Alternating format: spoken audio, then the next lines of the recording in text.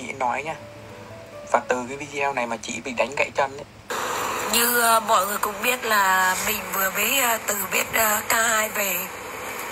Thật sự là khi ai đến đây rồi ấy mới hiểu được cái khi mà có người thân mất từ chỗ đấy ấy, chú ruột của mình mất từ bệnh viện K2 mà hôm nay mình phải khóc rất là to là vì ở trước cổng bệnh viện ấy là có những cái bệnh nhân ấy là người ta đã từng ăn à, rất là nhiều bữa sáng của mình thì uh, hôm qua bệnh viện đã thả các bệnh nhân đấy về.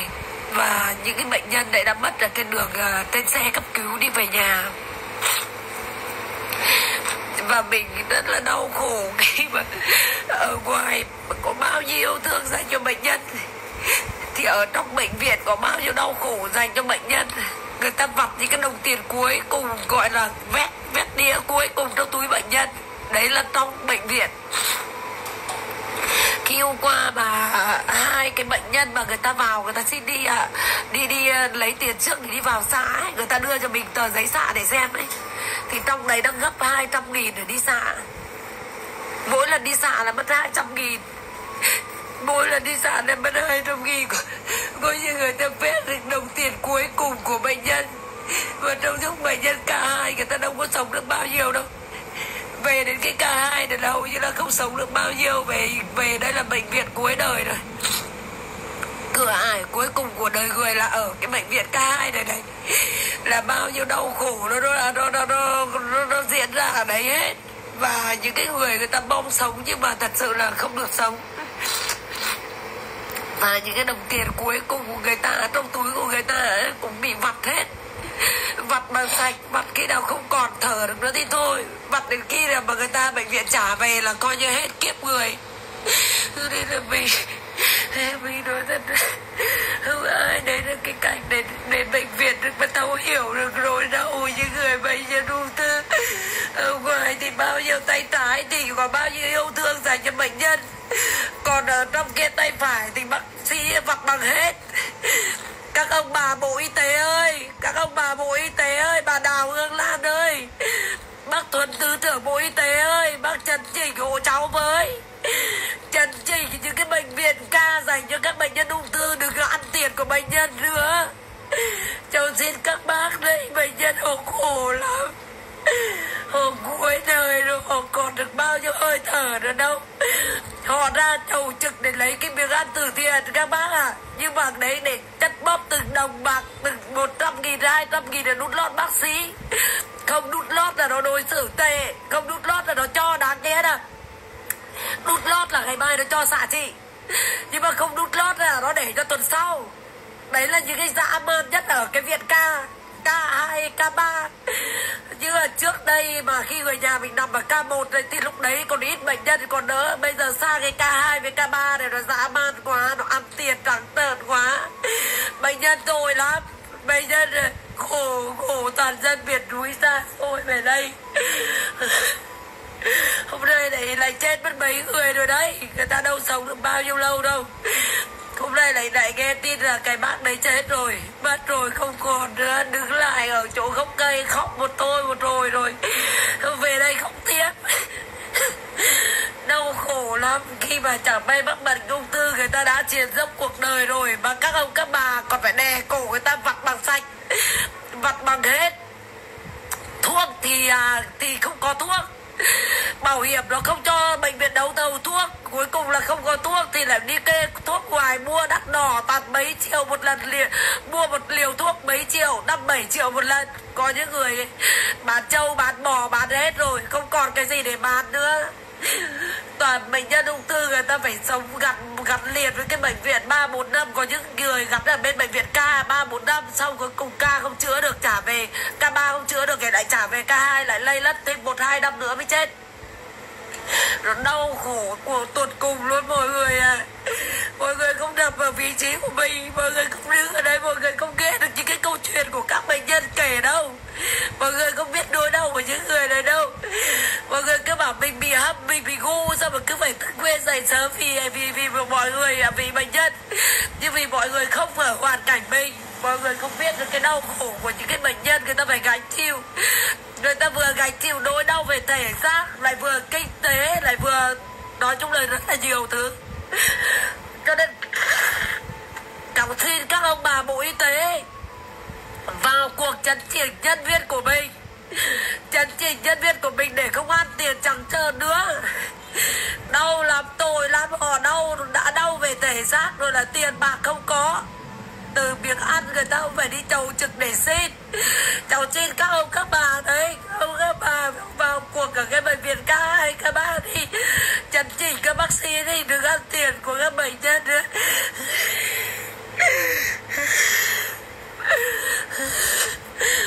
đây nhá bây giờ đi bổ người cả biết là người ta không sống được.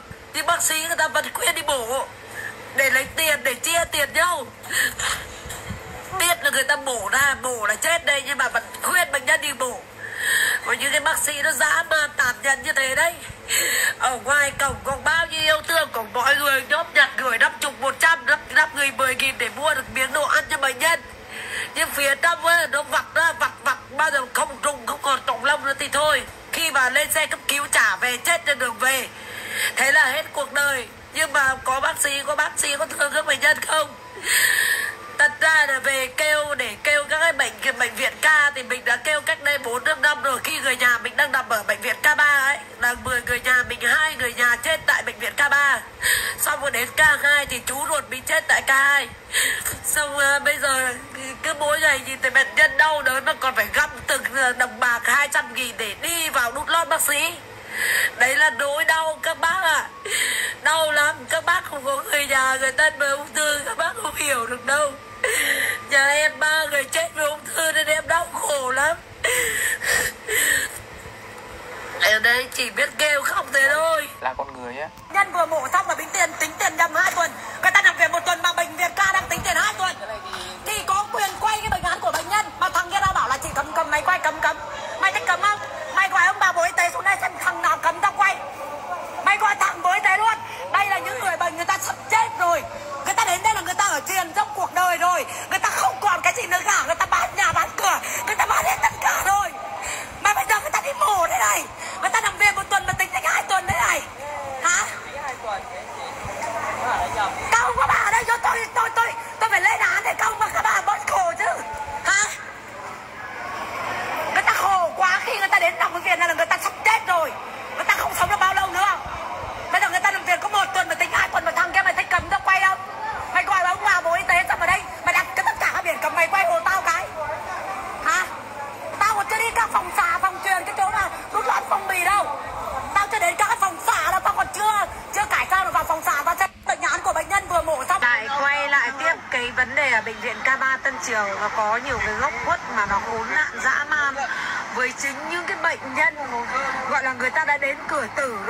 người ạ.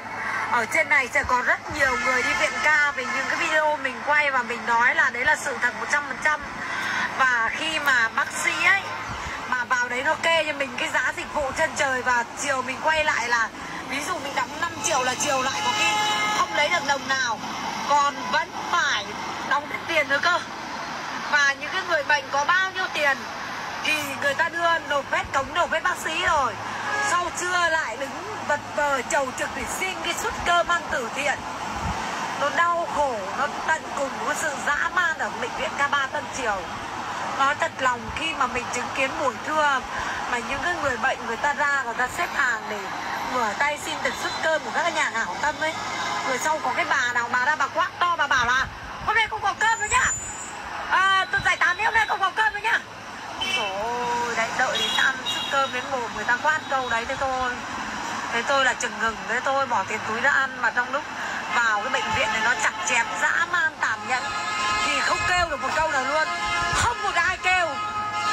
Đấy, bộ y tế phải vào cuộc ở cái bệnh viện k ba Tân Triều. Vì sao bây giờ thời đại 4.0 mà không cho người bệnh đăng ký ở trên tin nhắn? Đăng ký trực tuyến luôn là tôi là bệnh nhân này, tôi đăng ký ở ngày này, giờ này tôi khám. Đấy và tôi sẽ khám ở cái mục này bao nhiêu tiền thì chuyển khoản luôn vào tiền ở cái ngân sách của của của, của bệnh viện.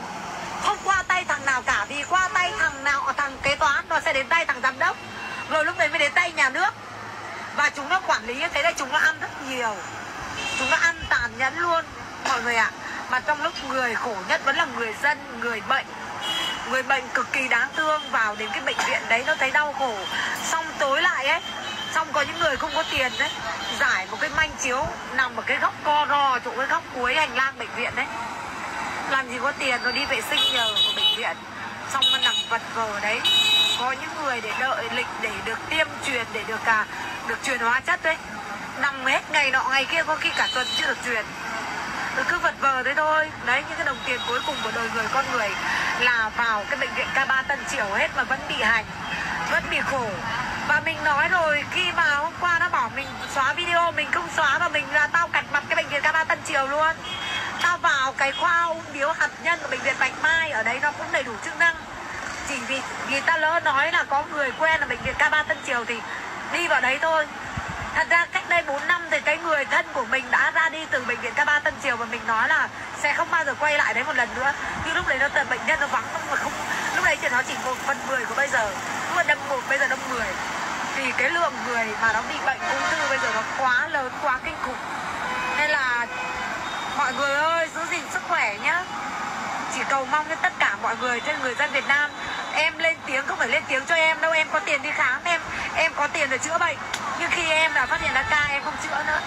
Em dùng số tiền em đi du lịch khắp nơi, em ăn uống đầy đủ em lo tất cả mọi thứ cho con em, sắp xếp được cuộc hành trình công việc cho con em, mọi vấn đề cho con em rồi. Nhờ có người sau này bảo hộ con em rồi.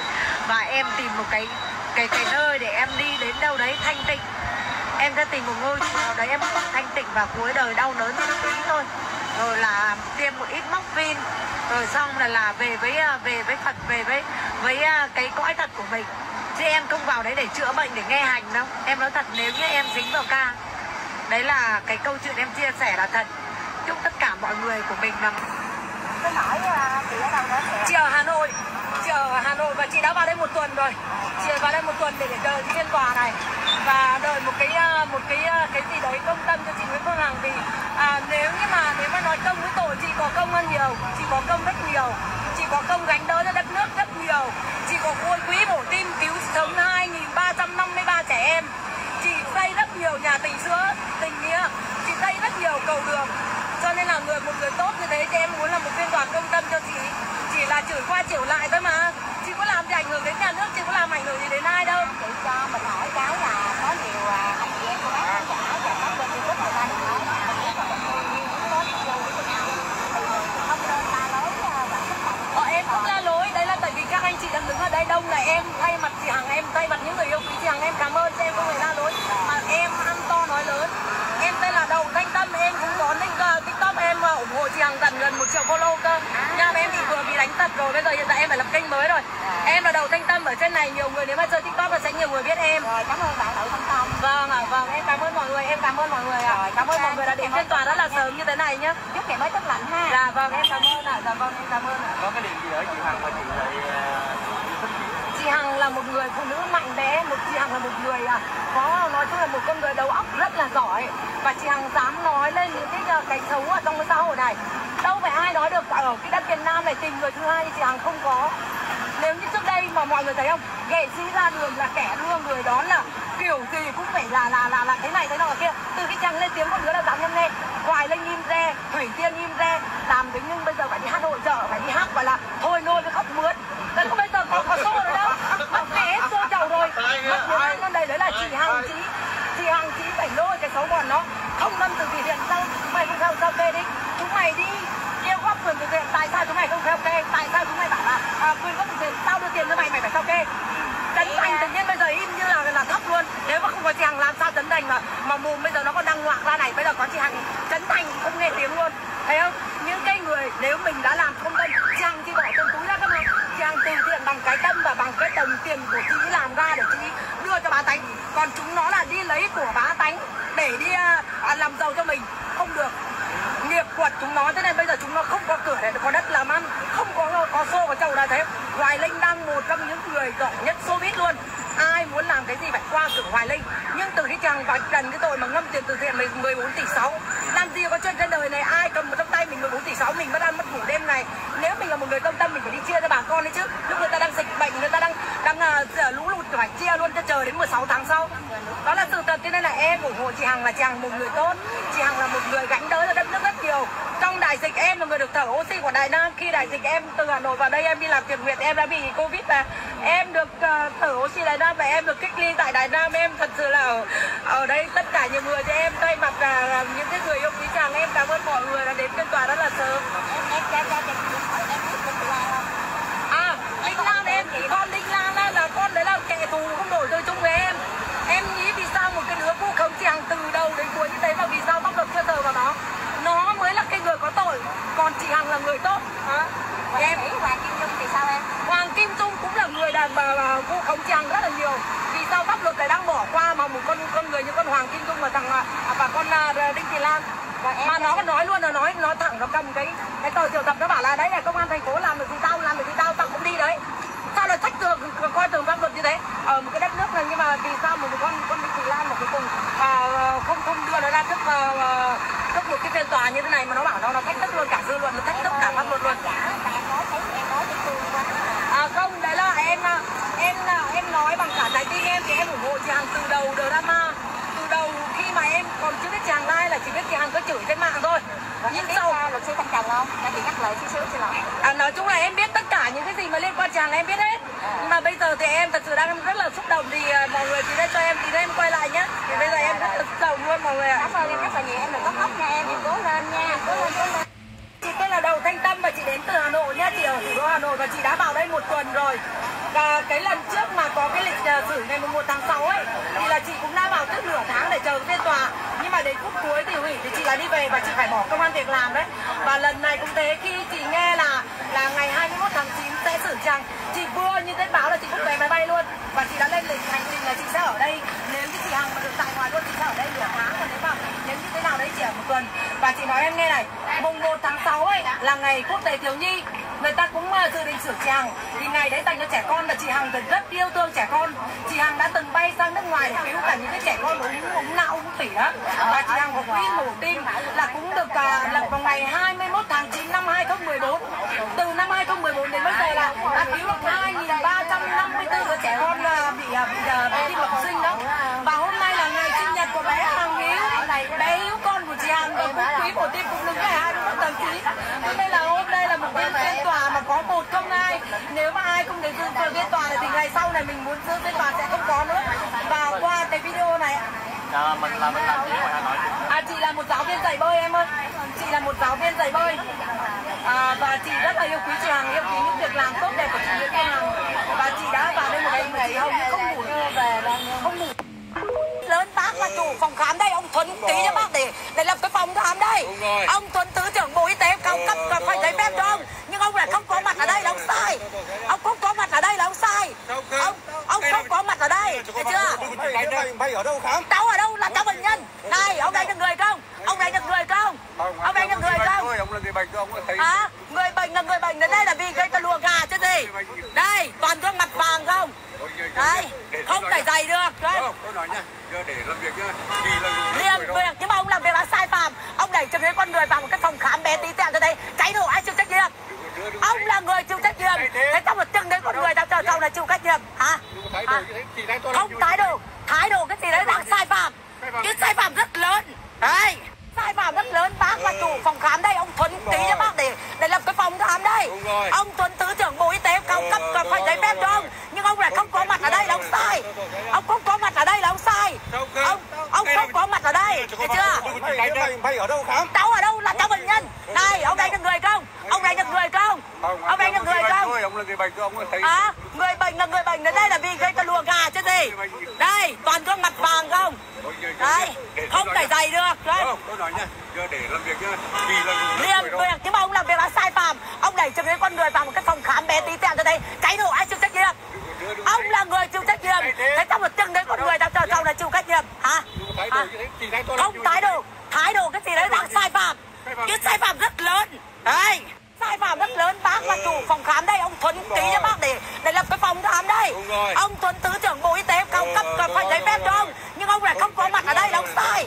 Ông không có mặt ở đây là ông sai. Ông ông không có mặt ở đây. Thấy chưa? Mày, mày, ở đâu khám? cháu ở đâu là cháu bệnh nhân? Này ông đánh được người không? Ông đánh được người không? Ông đánh được người không?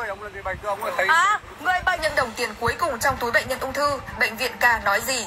Trong những ngày qua, dư luận dậy sóng với clip chia sẻ trên mạng xã hội của chị DTT, trú tại Hoàng Liệt, Hoàng Mai, Hà Nội, có nội dung bệnh nhân mỗi lần đi xạ mất 200.000 đồng, nếu đút lót thì mai cho xạ trị, không đút lót để tuần sau. Bệnh nhân ca có sống được bao nhiêu đâu, cửa ải cuối cùng đời người ở bệnh viện ca bao nhiêu đau khổ diễn ra ở đó. Cũng trong clip này, chị T mong muốn lãnh đạo Bộ Y tế vào cuộc chấn chỉnh các cán bộ y tế, bảo vệ người bệnh. Chị T cho rằng tại bệnh viện ca cơ sở 3 Tân Triều cũng xảy ra sự việc tương tự. Tối ngày 19 tháng 8, chủ nhân clip đang được dư luận đặc biệt quan tâm cho biết, chỉ sau khi clip có mặt trên mạng xã hội vài ngày, thì sáng ngày 17 tháng 8, tôi bị hai bảo vệ tác động vật lý ngay trong khuôn viên của bệnh viện K cơ sở 2 Tam Hiệp. Theo lời chị T, sau khi hoàn thành việc phát cháo từ thiện cho bệnh nhân nghèo ở phía ngoài cổng viện, thì chị T đi vào trong bệnh viện với mục đích liên lạc với cán bộ bệnh viện để phát thêm 100 thẻ nhận quà cho bệnh nhân tại đây.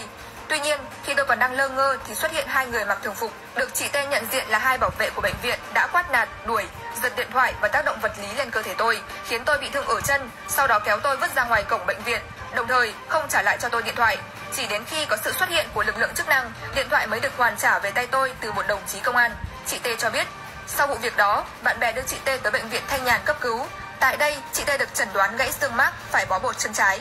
Chị T đặt câu hỏi, liệu vụ việc tác động vật lý với tôi trong khuôn viên bệnh viện ca cơ sở 2 có phải là sự trả thù bắt nguồn từ clip trước đó của tôi phản ánh những tiêu cực tại nơi đây? Sáng ngày 20 tháng 8, bệnh viện ca phát ra thông cáo báo chí về vụ việc trên, trong đó có nội dung để người bệnh an tâm điều trị tại bệnh viện và bảo vệ hình ảnh, uy tín của bệnh viện. Bệnh viện đã gửi đơn trình báo, tố giác hành vi vi phạm đến các cơ quan quản lý ban ngành và cơ quan chức năng trung ương và địa phương xảy ra vụ việc. Hiện nay, vụ việc đang trong quá trình xử lý theo quy trình pháp luật để nhanh chóng làm rõ và đưa ra kết luận. Bệnh viện K cũng thông tin về sự việc xảy ra sáng ngày 17 tháng 8. Cụ thể, chị DTT đi thẳng vào bệnh viện K cơ sở 2 Tam Hiệp phát phiếu, kêu gọi các bệnh nhân và người nhà bệnh nhân đến lấy đồ ăn phát từ thiện, quay phim người bệnh đang điều trị. Điều này vi phạm quy định về quyền riêng tư bệnh nhân và quy định về tổ chức phát quà từ thiện của bệnh viện, ảnh hưởng người bệnh và trật tự trong khuôn viên bệnh viện và chưa được bệnh viện K thông qua. Sự việc được đội ngũ bảo vệ phát hiện và mời chị DTT ra ngoài. Tuy nhiên, chị DTT có những hành động ăn vạ, ngồi ở ghế của hành lang lớn tiếng chửi bới, lăng mạ, thách thức nhân viên bảo vệ, gây mất trật tự trong khuôn viên bệnh viện. Bệnh viện K đã kịp thời báo công an xã Tam Hiệp, công an huyện Thanh Trì để phối hợp với viện kiểm sát nhân dân huyện Thanh Trì nhằm kịp thời ngăn chặn chị DTT và chồng gây mất trật tự tại bệnh viện K cơ sở Tam Hiệp. Đồng thời lập biên bản vụ việc, ghi nhận sơ đồ hiện trường dưới sự tham gia và chứng kiến của các bên liên quan để tiến hành các bước theo đúng thủ tục pháp luật. Tất cả diễn biến vụ việc xảy ra đều có hình ảnh và camera tại khuôn viên của bệnh viện K cơ sở 2 Tam Hiệp ghi lại và được trích xuất nộp trình cho cơ quan chức năng cùng các biên bản hiện trường được lập đầy đủ, chứng minh những thông tin đang lan truyền là sai sự thật, bịa đặt, vu khống. Bị tố vết những đồng tiền cuối cùng trong túi. Mọi người ơi, đừng bỏ rơi tâm. Tâm người thật việc thật, tâm không nhà không cửa. Nuôi hai đứa con, đưa những điều nhân văn tốt đẹp cho những bệnh nhân ung thư mà bây giờ tâm bị vu khống như thế này. Nó chưa tìm hiểu gọn gành luôn. Bây giờ nó bảo tâm là tâm cô đưa chồng đến rồi làm ở bị rồi phát ở trong khuôn viên bệnh viện trong lúc mình đồ thì phát ở ngoài cổng video vẫn còn ở đây bây giờ nó vô khống nó bảo thế đấy mình chỉ nói là bệnh nhân người ta đau khổ người ta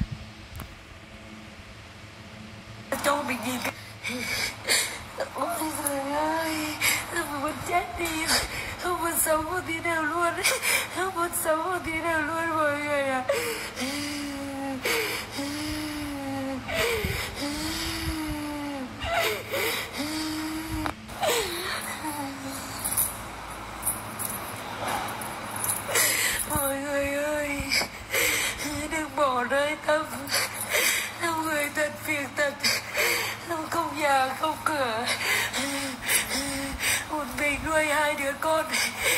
đưa những điều nhân văn tốt đẹp cho những bệnh nhân ung thư mà bây giờ tâm bị vu khống như thế này. Nó chưa tìm hiểu gọn gàng luôn. Bây giờ nó bảo tâm là tâm cô đưa chồng đến rồi làm ẩm bị rồi phát ở trong khuôn viên bệnh viện trong lúc mình đồ thì phát ở ngoài cổng. Video vẫn còn ở đây. Bây giờ nó vu khống, nó bảo thế đấy. Mình chỉ nói là bệnh nhân người ta đau khổ người ta cho mình nhìn cái là tờ, tờ giấy triệu tập của công an là à, giấy mời không phải triệu tập là giấy mời. Giấy mời của công an à, công an à, phường Đại Kim. Mời Đậu Thanh Tâm lên làm việc về cái vấn đề làm việc về à, nhân viên ở phòng khám đã xảy ra đa khoa à, kiểm định quốc gia.